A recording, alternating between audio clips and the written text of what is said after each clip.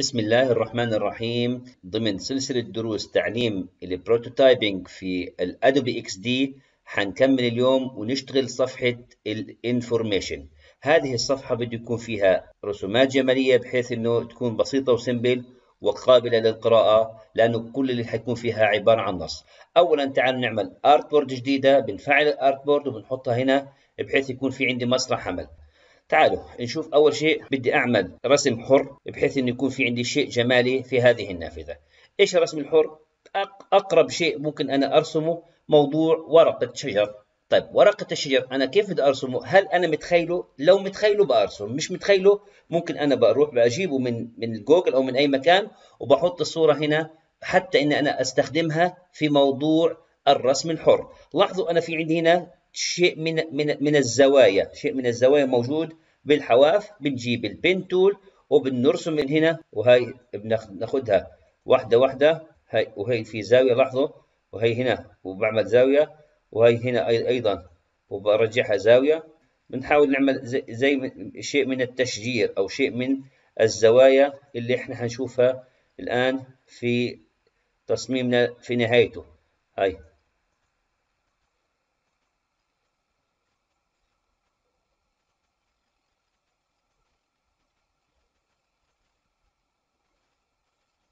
صار في عندي رسمة بنسحب الرسمة الآن وبنشوف كيف ممكن صارت. لاحظوا قريبة من مين؟ من الورقة. ولكن بدي أعملها شيء من السموث. بدي أضغط ضغطتين عند كل زاوية من الزاوية هذه. نبدأ من الزاوية من هنا هاي ضغطتين وهي ضغطتين بحيث أن أشيل الحدية بضغط ضغطتين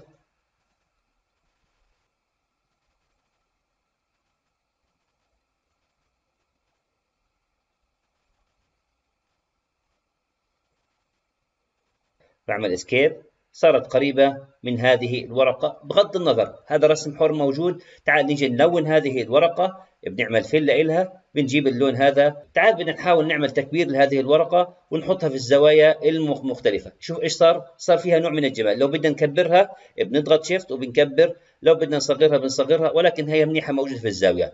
بدي أجيبها الآن هذه بحذفها بضغط alt بحيث أحافظ على النسخة اللي فوق. وباجي بعمل rotation نقلها وبجيبها على الزاوية الأخرى. الآن بدي أجيب هنا شعار ال info. هي من هنا شعار ال info. بضغط زر ال alt وبسحبها بحطها في المكان هذا.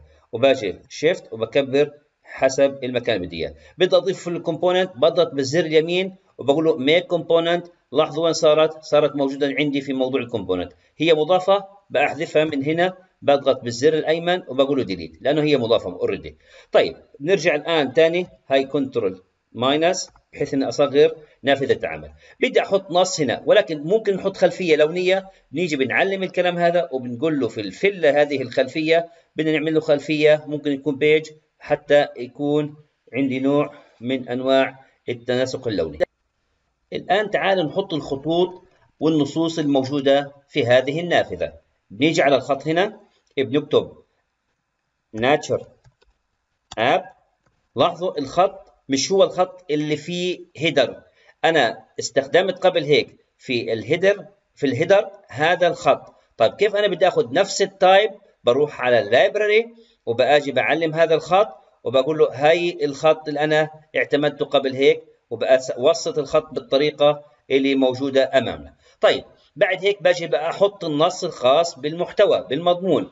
هي بحط النص أنا ناسخ النص وبحطه copy paste طيب باجي الآن بعمل من خصائص النص بعمل fixed size بصغر النص بحيث يكون مضمن داخل النافذة وحسب الحدود اللي أنا بدي أحطها في النافذة. لاحظوا معايا التباعد 66 بصغر التباعد بحيث إنه تكون فيها نوع من التضمين في داخل هذه النافذة. بعتقد إنه إحنا وصلنا لنهاية هذا الدرس. استخدمنا فيه الرسم الحر استخدمنا فيه التلوين استخدمنا فيه أيضا وضعنا الأيكونز وضعنا النصوص واستخدمنا فيه المكتبات بحيث أنه نستقي منها التنسيقات الخاصة بالخطوط وما إلى ذلك. انتظرونا في الدرس القادم. حنتكلم في موضوع السيرش انجن خاص بهذا التطبيق. والسلام عليكم ورحمة الله وبركاته.